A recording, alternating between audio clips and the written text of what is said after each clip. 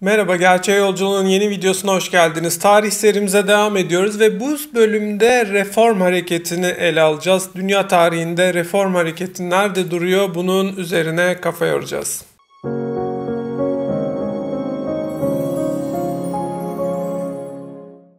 Dünya tarihi artık modern evresine girmişti. Uygarlığının en gelişkin noktasına doğru ilerliyordu. Bunda ilk önce Avrupa'da bir yıkımla açılmıştı bu dönem. Büyük Roma İmparatorluğu'nun ve Bizans İmparatorluğu'nun yıkımıyla açılmıştı. Daha sonrasında Avrupa bir barbarlığa gömüldü. Germanik ulusların o yıkımı ve yeniden yaratımı sürecinde bir barbarlığa, bir karanlığa gömüldü. Bu dönemde İslam medeniyetinin medeniyet bayrağını devraldığını gördük ve Osmanlı uygarlığının dünya üzerindeki medeniyetin taşıyıcısı konumunda olduğunu gördük. Roma İmparatorluğu ile birlikte artık dünyada medeniyeti taşıyacak bir devlet kalmamıştı. Katolik Hristiyanlık boş inançlara gömülmüştü. Avrupa binbir parçaya bölünmüştü. İşte bu dönemde çürümüşlükten kurtulma, silkinme hareketi İslam uygarlığıyla birlikte karşımıza çıktı. Batı uygarlığının, Batı pozitivist tarih biliminin ve genel olarak batı kültürünün anlamadığı nokta işte burasıdır. Dünyanın, modern dünyanın oluşumunda İslam uygarlığı ve Osmanlı uygarlığı ayrılmaz bir parçasıdır batının ve modern dünyanın ayrılmaz bir momentidir. Bu konuyu anlayamadıkları ölçüde batılı aydınlar ve bilim adamları dünya tarihini de anlayamıyorlar ve sanki Avrupa'nın orta çağları bir değer taşıyormuş gibi o dönemi inceliyorlar. Bugün işte pek çok film izliyoruz. Yüzüklerin Efendisi'ni izliyorsunuz. Tarihi filmleri izliyorsunuz. Bunlarda pek çok fantastik kahraman görüyoruz. Orta çağların o karanlık kültüründe bir değeri olan ama medeniyet tarihinde bir değeri olmayan pek çok karakterinin yüceltildiğini görüyoruz batıda. Oysa medeniyetin, uygarlık tarihinin gelişiminde bu dönemde İslam medeniyeti ve Osmanlı medeniyeti yüceltilmelidir. Bu kısmı anlayamadığını daha önceki videomuzda ele almıştık. Dileyen izleyicilerimiz bu kısma tekrar göz atabilirler. İşte bu başlayan arınma ve kurtulma hareketi İslam'ın Avrupa'daki, batıdaki etkisi reform hareketleriyle kendini gösterecekti. O dönemde şöyle bir dünya vardı. Roma'nın arta kalanı Romanik uluslar İtalya, İspanya, Fransa gibi Romanik uluslar bir silkiniş gerçekleştirememiş ve o Roma'nın çöküntüsünün altında kalmışlardı. Burada boş inanç egemendi. Burada ruhsallık artık bir gelişkinliğe ilerleyemiyordu. İçsellik zayıftı. Bu Romanik uluslar bir dışsal otoriteye, bir dışsal yetkiye kendi içsel kararlarını bırakmayı tercih ediyorlardı. Çünkü burada dediğimiz gibi bir özgürlük artık yok olmuştu. Özgürlüğün bir yitimi söz konusuydu ve özgürlük istemiyordu. Romanik uluslar özgürlük istemiyordu.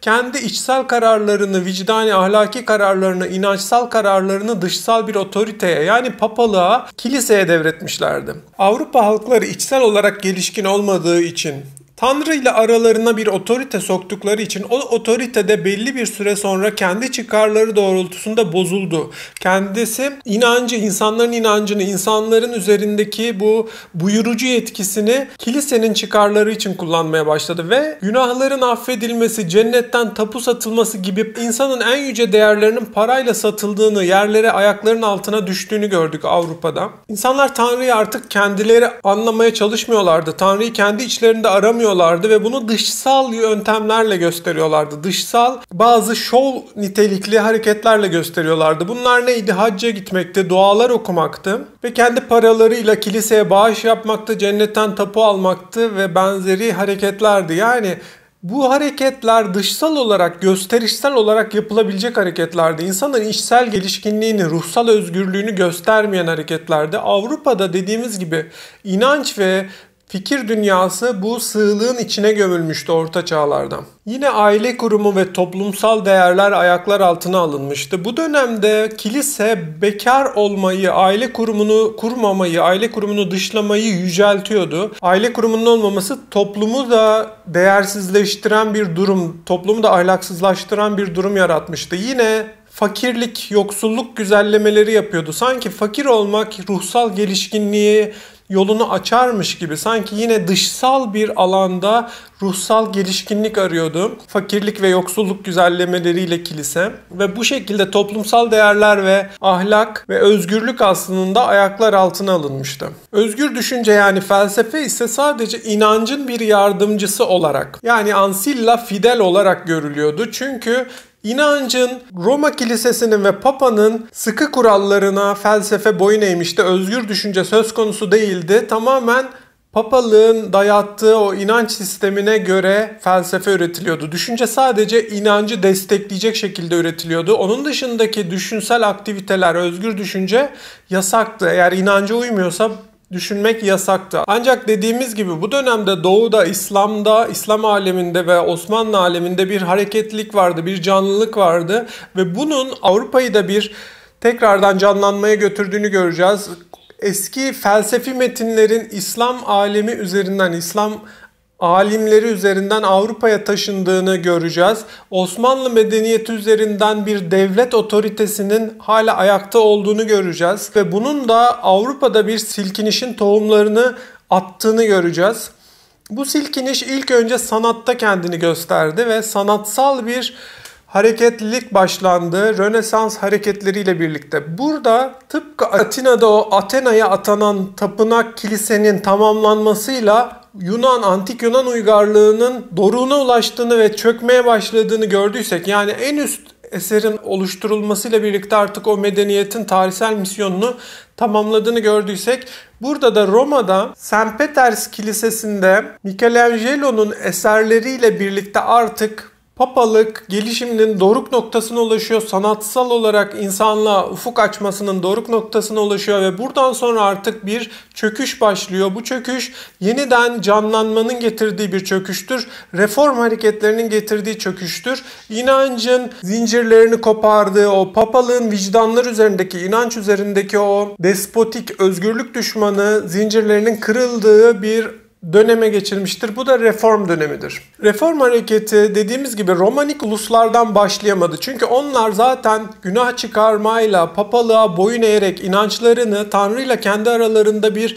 papalık sınıfını bir papa, e, papazlar sınıfını kabul ederek zaten içsel özgürlüklerinden vazgeçmişlerdi ve böyle bir arayışları da yoktu.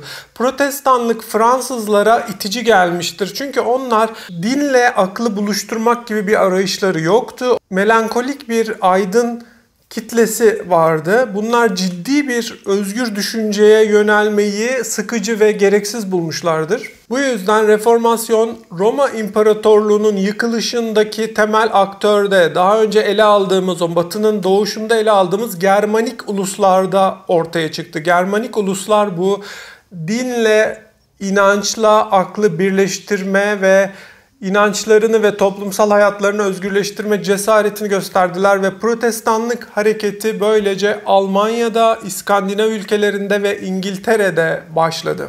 Ve bu hareket bir kez başlayınca, bir kez o ruhlarda o özgürlük ateşini tutuşturunca daha önce bütün dirençleri acımasızca bastırabilen kilise bu sefer dışsal bir dirençle değil içsel bir dirençle karşılaştı ve bunu bastırmakta başarılı olamadı. Tabii ki de yine buna karşı savaştı ama bunu artık bastırmakta başarılı olamadı ki kendisini bile reformdan geçirmek zorunda kaldı. Artık yeni kilise düzenleri doğdu. Dilenci keşişler gibi, Fransiskanlar gibi, evangelistler ya da anabaptistler gibi yeni kilise düzenleri ortaya çıkmaya başladı. Reformasyonun öncü aydını olan ya da öncü din adamı olan Luther'in temel öğretisi İsa'ya ve Tanrı'ya inancın hiçbir şekilde dualar gibi işte kefaret ödemeler gibi, günah bağışlamalar gibi, cennetten tapu almalar gibi hatta vaftiz gibi ya da hacca gitmek gibi öyle dışsal göstergelerle ölçülemeyeceğini, Tanrı'nın, İsa'nın ve inancın sadece içsel olarak bulunabileceği, gerçeğin bilgisine, Tanrı'nın bilgisine içsel olarak ulaşılabileceği ve insanlığın kurtuluşa ancak içsel uzlaşmada, Tanrı ile içsel uzlaşmada ve içsel hazda ulaşabileceği temel ilkesiyle hareket etti. Ve bu ilkeler artık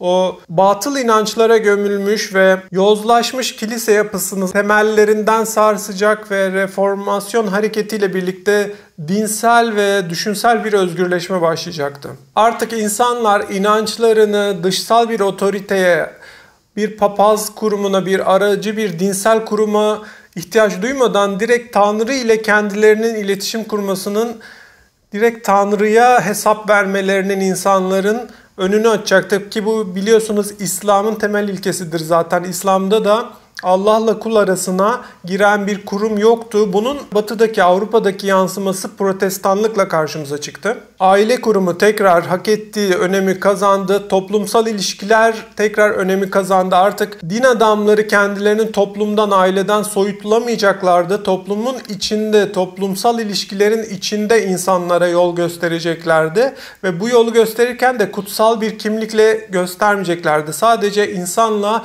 Tanrı'nın arasına girmeden onları bilgileriyle yönlendirmeye çalışacaklardı. Tabi buna papalığın itiraz ettiğini göreceğiz. Papalıkla birlikte bu dinsel imtiyazlardan yararlanan keşişler, papazlar da reform hareketini bastırmak için ordular kurarak şiddetle karşı çıktılar, iç savaş çıkardılar. Tıpkı bizde Osmanlı İmparatorluğu'nda Yeniçerilerin oynadığı rolü oynadılar. Çünkü Yeniçeriler sınıfı da Osmanlı İmparatorluğu'nda modernleşme hareketine karşı çıkan bir mezhebi ifade etmektedir. Çıkan bir tarikatı ifade etmektedir Yeniçerilerde. Yeniçerilerin de Osmanlı İmparatorluğu ve Türk modernleşmesinin öndeki en büyük engeli oluşturduğunu göreceğiz. Yine Avrupa'da da keşişler sınıfı, papalık ve bu din adamları, imtiyazlı din adamları sınıfı eski imtiyazlarını bırakmamak için her türlü şiddeti, her türlü direnişi gösterdiler. Böylece de Avrupa'da artık akılcı bir sosyal düzen, akılcı bir inanç sistemi ve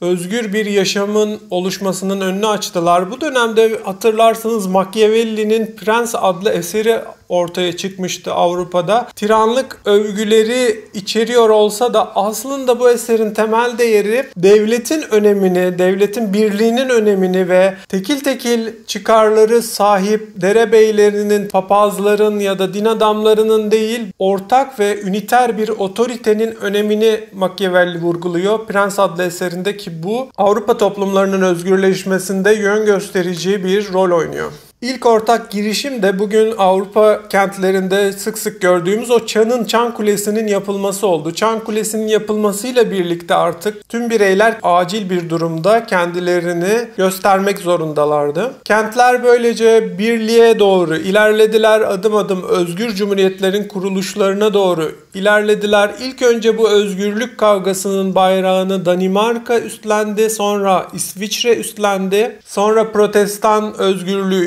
İsveç destekledi. En sonunda da Almanya'nın üzerine atıldı. Bütün tutucu güçler Almanya üzerinde protestanlığı boğmak için atıldılar ve 30 yıl savaşları yaşandı. Bunun sonucunda Avrupa'da bir tükenmişlik ortaya çıktı. Bütün tarafların tükendiği bir süreç ortaya çıktı. Bunun üzerine artık reform hareketinin o sarsıntısının üzerine tüm Avrupa'da ve tüm Batı dünyasında o toplumsal düzeni, devletin siyasi ve toplumsal düzeni değiştirecek aydınlanma hareketinin geldiğini göreceğiz. Artık bundan sonra sadece protestan inancına geçmiş olanları değil bütün toplumun dönüştüğünü göreceğiz aydınlanma süreciyle birlikte. Bunu bir sonraki videomuzda ele alacağız. Bu arada siz de aşağıda linkini vermiş olduğum felsefe ansiklopedisi şeması üzerinden ele aldığımız kavramların yerlerini ve birbirleriyle ilişkilerini inceleyebilirsiniz. Unutmayın bu şema bizi gerçeğe ulaştırabilecek yegane yoldur. Videolarımı beğendiyseniz felsefenin daha fazla insana ulaşabilmesi için onları sosyal medyanızda paylaşarak bana destek olabilirsiniz.